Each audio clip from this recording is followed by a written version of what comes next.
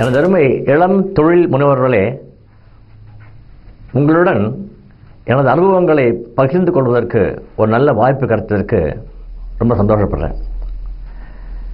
தொழில் முனைவோர் அதாவது ஆண்டர்பிரன்யூர்ஸ் அப்படின்னு சொல்லும்போது முகேஷ் அம்பானி சொன்ன ஒரு டெஃபினேஷன் ஒரு விளக்க ஞாபகத்துக்கு வருது.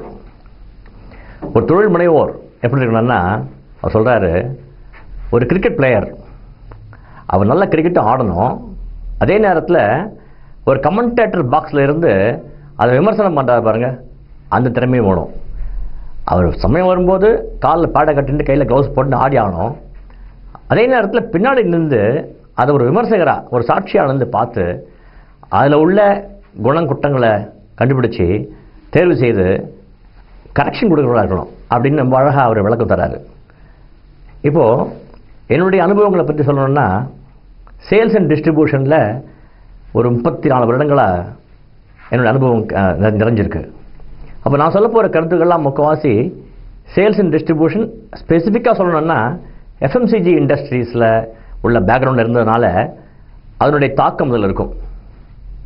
உங்களுடைய எக்ஸ்பீரியன்ஸில் உங்களுடைய அனுபவத்தில் உங்களுடைய தொழிலில் எஃப்எம்சிஜியில் இருக்கவங்களுக்கு இது ரொம்ப ரிலவெண்ட்டாக இருக்கும். பட் நீங்கள் வெவ்வேறு தொழிலில் ஈடுபட்டிருக்கீங்க. சில பேர் ரியல் எஸ்டேட்டில் இருக்கலாம். சில பேர் நான் ஃபுட்ஸில் இருக்கலாம் ஒயிட் ஒயிட் கூட்ஸில் இருக்கலாம். ஸோ உங்களுக்கு இது முழுதும் ரிலவன்ஸாக இல்லைன்னா கூட இதிலிருந்து சில நல்ல கருத்துக்கள் நல்ல பிரின்சிபல்ஸை நீங்கள் யூஸ் பண்ணிட்டு உங்கள் பிஸ்னஸை கூட்ட முடிஞ்சாலும் எனக்கு சந்தோஷம்.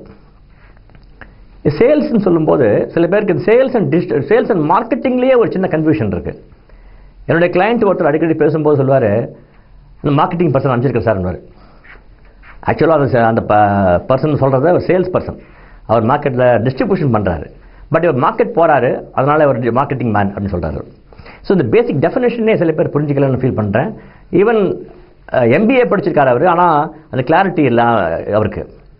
நான் சொல்ல வர்றது என்னென்னா சேல்ஸ்ன்னு சொல்லும்போது இது வந்து சேனல் மேனேஜ்மெண்ட் ஆனால் மார்க்கெட்டிங்னு சொல்லும்போது அது டைரெக்டாக கன்சியூமர் ஹேண்டில் பண்ணுறது ஒரு பொருள் உற்பத்தி ஆகி அது ஒவ்வொரு சேனல் அதாவது டிஸ்ட்ரிபியூட்டர் ஹோல்சேலர் ரீட்டைலர் அப்படின்னு ஒவ்வொரு சேனலாக போய் அது கடைகளுக்கு போய் சேர்ந்து சரியான முறையில் டிஸ்ப்ளே ஆகி மர்ச்சன்டைசிங் ஆகி அதோட அந்த சேல்ஸுடைய ஃபங்க்ஷன் முடிஞ்சிடுறது. ஆனால் அது கன்சியூமருக்கு போய் சேர்க்க வேண்டியது மார்க்கெட்டிங்கினுடைய வேலை. ஸோ அதனால் இந்த டிஃப் டிஃப்ரென்ஸ் சரியாக புரிஞ்சுக்கணும். இப்போ நாங்கள் பேச நான் பேச போகிறது முழுதும் சேல்ஸ் மேனேஜ்மெண்ட் டிஸ்ட்ரிபியூஷன் மேனேஜ்மெண்ட் இதில் ஒரு முக்கியமான பாயிண்ட்டை நான் சொல்ல விரும்புகிறது என்னென்னா ஒரு டிஸ்ட்ரிபியூஷன் அப்படின்னு எப்படி இருக்கணும்? எந்த ஒரு ரீச் ஆகணும்? ஒரு சின்ன எக்ஸாம்பிள் இப்போ லஞ்சுக்கு போகிறேன் ஒரு ஹோட்டலில் போய் சாப்பிட ஆர்டர் பண்ணுறேன் அவர் நார்மலாக ஒரு தாலி மீல்ஸ் எடுத்து வைக்கிறத விட அவர் சொல்கிறார் சார் பஃபே இருக்குது சார் ஒன்று சாப்பிடுங்க. பஃபேக்கு போகிறோம் அப்போ அந்த வெரைட்டி ஃபுல்லாக அங்கே பார்க்குறோம் அப்போ அங்கே இட்ஸ் ஆல்சோ டிஸ்ட்ரிபியூஷன் அதை பார்க்கும்போது அந்த வெரைட்டியை பார்க்கும்போது அவருக்கு ஒரு ஆவல் ஏற்படுறது அந்த கன்சியூமருக்கு அவர் அங்கே சாப்பிட ஆரம்பிக்கிறார். இவர் சின்ன எக்ஸாம்பிள் இந்த மாதிரி டிஸ்ட்ரிபியூஷன்றது வெரைட்டி டிஸ்ப்ளே இப்போ நான் சொல்ல வர்றதில் அப்போது நம்ம டிஸ்ட்ரிபியூஷன்னா எல்லா கடைகளுக்கும் ப்ராடக்ட்ஸ் எல்லாம் கொண்டு போய் டிஸ்ட்ரிபியூட் பண்ணுறதா டிஸ்ட்ரிபியூஷனா அப்படின்னு கேள்வி வருது. நம்ம ப்ராடக்ட் டைப் என்ன? அந்த டைப் ஆஃப் ப்ராடக்ட்ஸ் ஏற்ற மாதிரி டிஸ்ட்ரிபியூஷன் ஸ்ட்ராட்டஜியை நம்ம அரைவ் பண்ணணும். இந்த இடத்துல தான் numerical distribution and weighted distribution அப்படின்னு இது ரெண்டாக பிரிக்கிறோம். நியூமரிக்கல் டிஸ்ட்ரிபியூஷன் என்ன? எல்லா கடைகளும் கொண்டு போய் ஒரு மார்க்கெட்டில் ஆயிரம் கடை இருந்தால் அந்த ஆயிரம் கடைக்கும் சப்ளை பண்ணுறது ஆனால் வெயிட்டட் டிஸ்ட்ரிபியூஷன்றது என்னென்னா இந்த ப்ராடக்ட் என்ன கடைகளில் சரியாக விற்கும் இந்த ப்ராடக்ட்டுடைய கன்சியூமர் யார்? இதனோட டார்கெட் கஸ்டமர் யார்? இதை ஸ்டடி பண்ணி அந்த மாதிரி கடைகளில் கொண்டு போய் ப்ராடக்ட் கொண்டு போய் சேர்க்கறது வெயிட்டட் டிஸ்ட்ரிபியூஷன் ஒரு எக்ஸாம்பிள் ஒரு சின்ன கதை ஒன்று சொல்கிறேன் இப்போ பழைய கதை தெரிஞ்ச கதை எல்லாருக்கும் உங்களுக்கு. ஒரு போட்டி நடக்கிறது. பாண்டவர்களுக்கும் கௌரவர்களுக்கும் போட்டி. அது என்ன போட்டின்னா ரெண்டு பேர்கிட்டையும் ஒரு தங்க நாணயம் கொடுத்துட்டாங்க. நீங்கள் போய் ஒரு அறை முழுதும் ஏதாவது பொருளை வாங்கி இந்த இடத்துல நிரப்பணும். இதுதான் போட்டி. கௌரவர்கள் என்ன பண்ணாங்கன்னா வைக்கோல் ரொம்ப சீப்பாக இருக்குது அந்த ஒரு நாணயத்துக்கு ஃபுல்லாக வைக்கோலை வாங்கி அந்த ரூம் ஃபுல்லாக ரப்பி வச்சிடுறாங்க. இதே பாண்டவர்களுடைய ஸ்ட்ராட்டஜி என்னென்னா ஒரு சின்ன விளக்கு அகல் விளக்கு வாங்கி ஒரு ரூமில் ஏற்றி வைக்கிறாங்க. அந்த விளக்கு அந்த அகல் விளக்கு பிரகாசம் அந்த அறை முழுவதும் நிரம்பியிருக்கு. அப்போது அந்த சிறிய ஒரு செலவில் அவங்க அந்த சொன்ன கட்டளை செய்து முடிச்சிடுறாங்க. இது ஸ்மார்ட் ஒர்க்குன்றாங்க அதாவது நம்ம வந்து ஹார்ட் ஒர்க் பண்ணுறது வேறு ஸ்மார்ட் ஒர்க் பண்ணுறது வேறு. சின்சியராக ஒர்க் பண்ணணும். அது வந்து எந்த விதமான வேறுபாடும் இல்லை. ஆனால் அது ஸ்மார்ட்டாக ஒர்க் பண்ணணும். ஸோ நான் ஒரு எக்ஸாம்பிள் சொல்கிறேன் மறுபடியும். ஒரு ஒரு சீஸ் ப்ராடக்ட் விற்கிறோம் இல்லை ஒரு சோப் விற்கிறோம் அந்த சோப்பை வந்து நம்ம விற்கிற எல்லா கடைகள்லையும் ஒரு ஹை ப்ரைஸ் உள்ள ஒரு ப்ரீமியம் சீஸ் விற்க முடியுமா? டைம் முடியாது.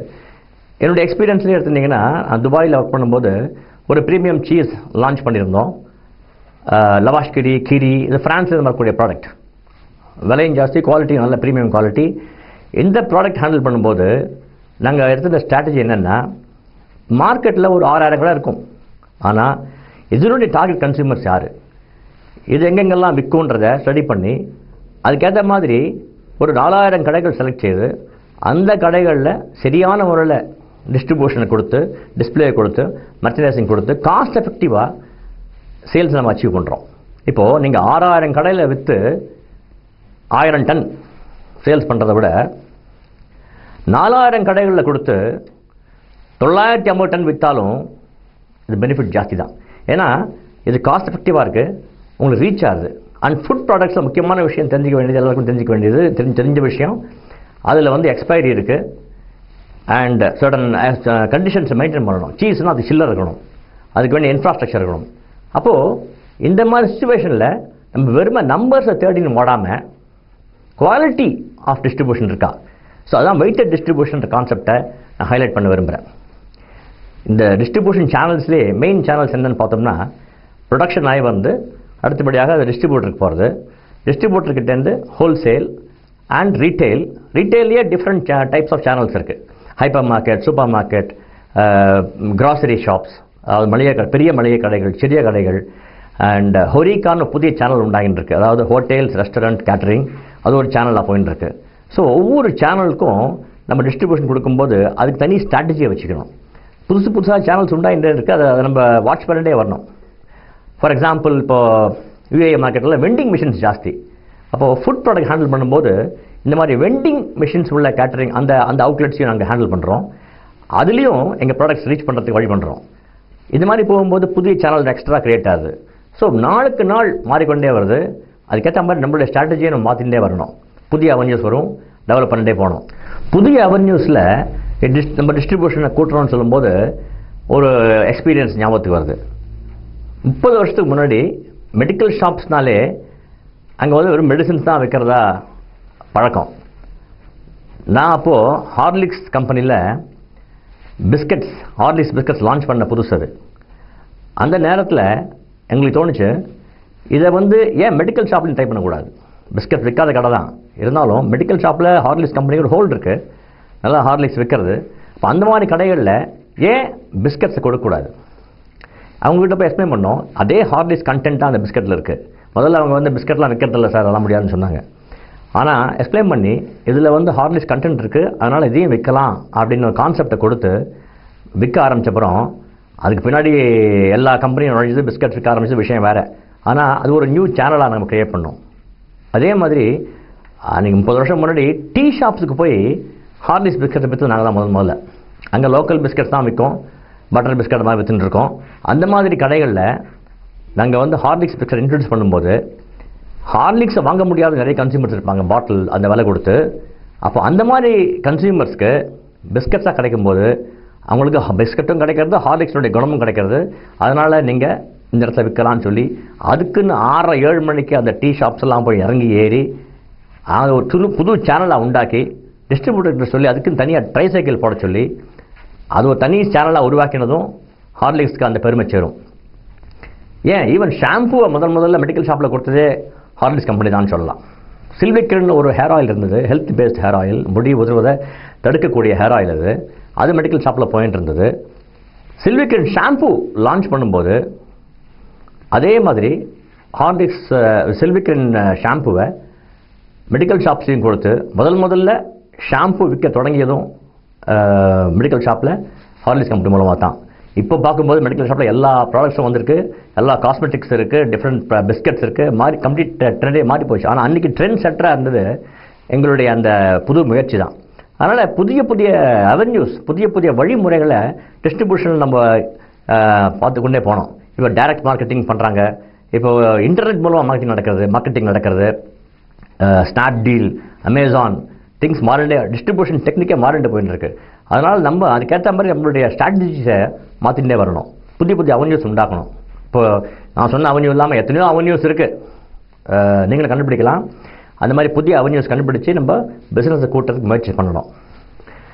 எல்லா அவென்யூஸும் சொல்லிட்டீங்களா சார்? வேறு எதுவும் புதிய அவன்யூ என்ன இருக்க போகுதுன்னு யோசிக்காதீங்க. இது எப்படி இருக்குன்னா ஒரு விஞ்ஞான வகுப்பில் சொல்லிக் கொடுக்குற டீச்சர் வந்து கண்டுபிடிப்புகள்லாம் யூரோப்பில் அது பண்ணாங்க அமெரிக்காவில் அது பண்ணாங்க யூகேயில் அதை கண்டுபிடிச்சாங்கன்னு சொல்லிட்டே வரும்போது அந்த ஸ்டூடெண்ட்ஸ் கிட்ட கேட்குறாங்க என்ன நம்ம இந்தியாவில் நீங்கள் என்ன கண்டுபிடிக்க போகிறீங்க அப்படின்னு. அந்த பையன் சொல்கிறான் எல்லாத்தையும் அவங்களே கண்டுபிடிச்சிட்டாங்களே சார் நான் என்ன பண்ணுறது அப்படின்னு. அந்த மாதிரி இல்லை நம்மளால் கண்டுபிடிக்க முடியும் புதிய வழிகளை உண்டாக்க முடியும்.